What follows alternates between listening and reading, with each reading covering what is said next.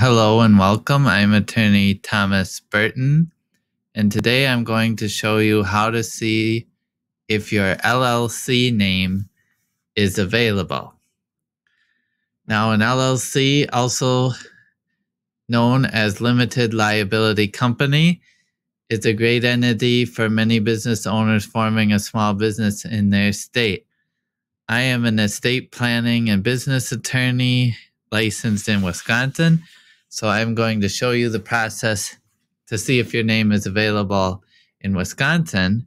But there is a process, from what I am aware, in almost all the states where you can form an LLC, all 50 states, to search to see if the name is available before you file your application to form your LLC. So in Wisconsin, the department that handles these is the Wisconsin Department of Financial Institutions. In many states, it's the Secretary of State's office. So if you're looking for the government agency that handles LLCs in your state, I would Google uh, LLC formation and the name of your state. You could possibly put in Secretary of State or also corporate name registry in your state.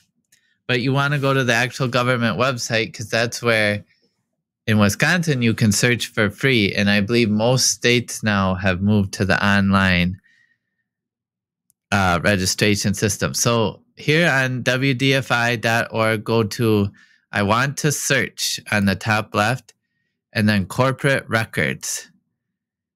And you'll see that takes us right here to the search corporate records database. And here you can search the legal entity name, the date, the entity type, registered agent.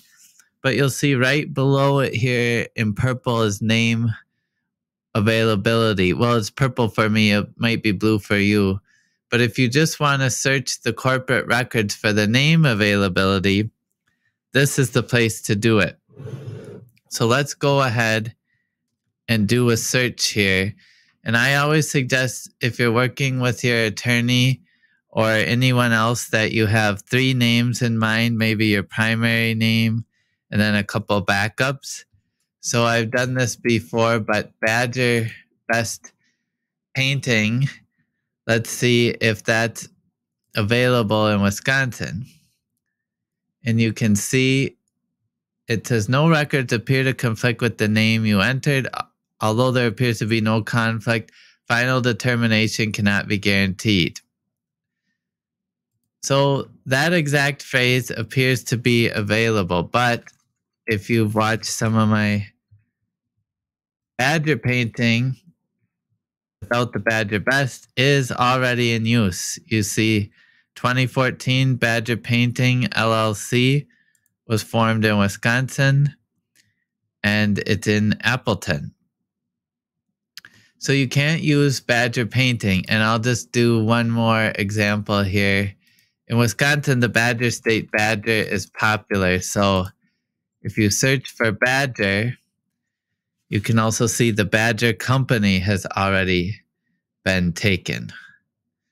But a less popular name, like let's say John Smith Painting, John Smith is popular, but there appears to be no one, no entity named John Smith Painting LLC.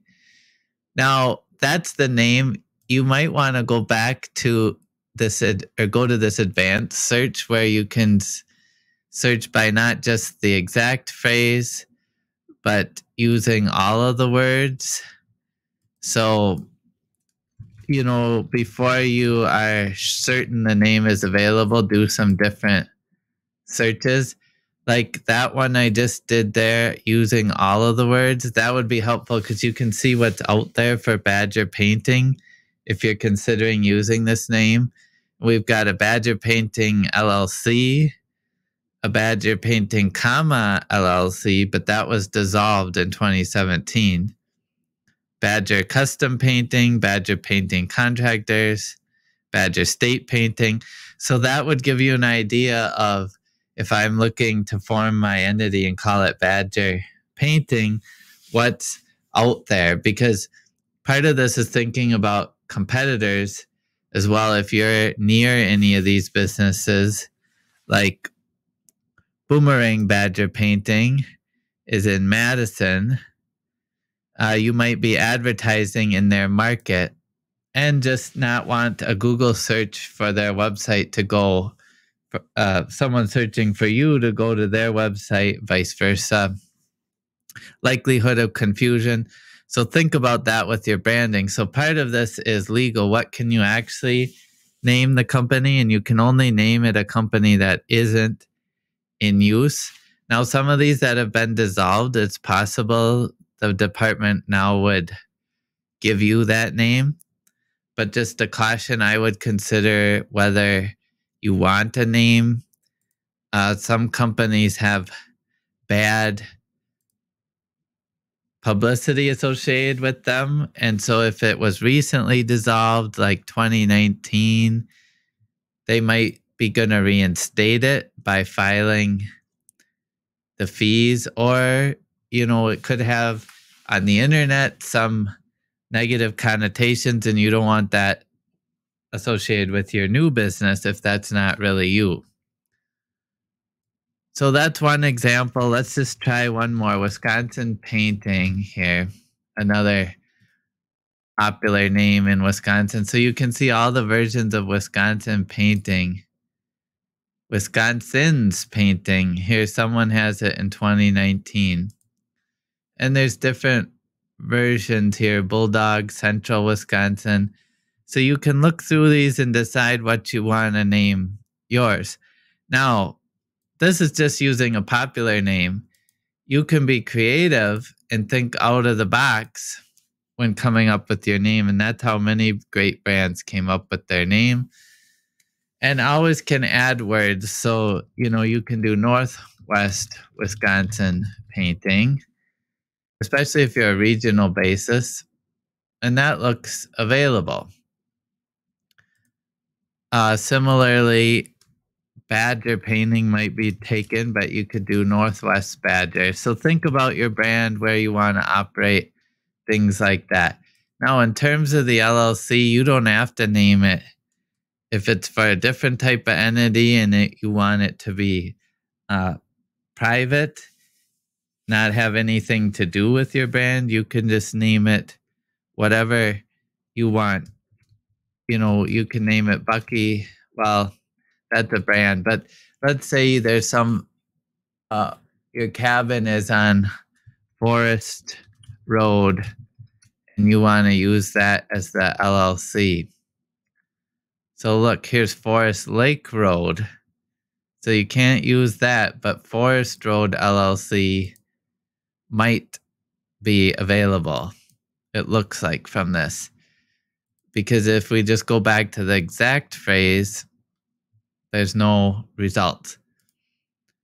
So in general, I wanted to show you how do you get to it. And again, I'll just run through from the home page here.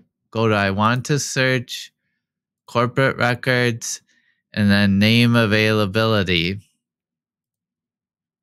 to see if the name you're thinking about is available.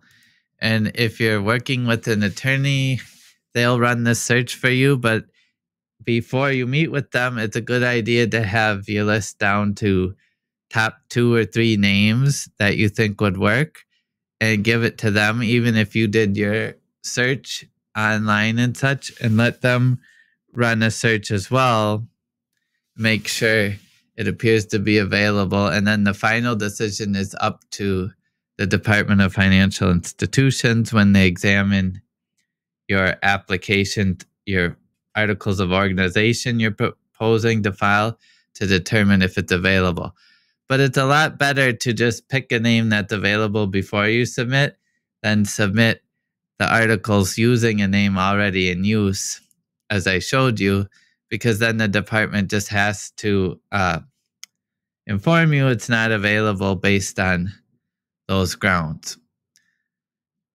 So I hope this video has been helpful to you as you think about forming your own LLC. If it has, consider giving it a like and subscribing to the channel so more people can see and benefit from this information as well. Thanks for tuning in, and we'll see you next time.